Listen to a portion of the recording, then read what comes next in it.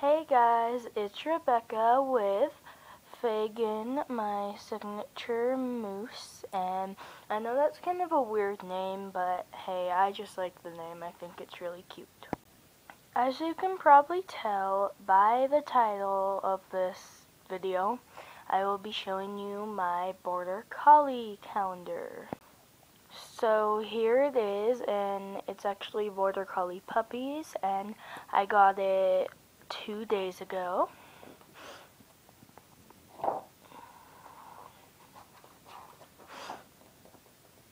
This one is like the cutest one, and it's like the very first one.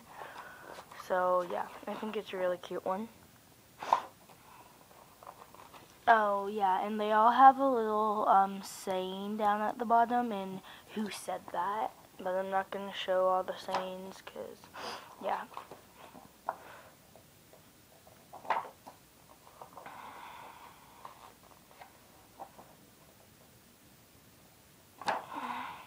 And this one does not look like uh, a border collie. Sorry if you do not agree at all, but I just don't think it really looks like a border collie. And you can comment down below if you agree with me, because I just like when people agree with me.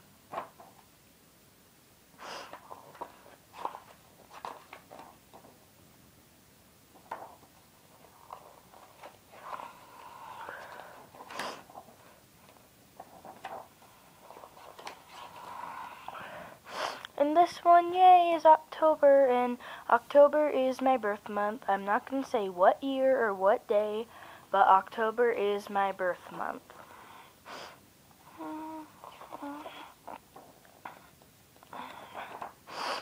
And that is it.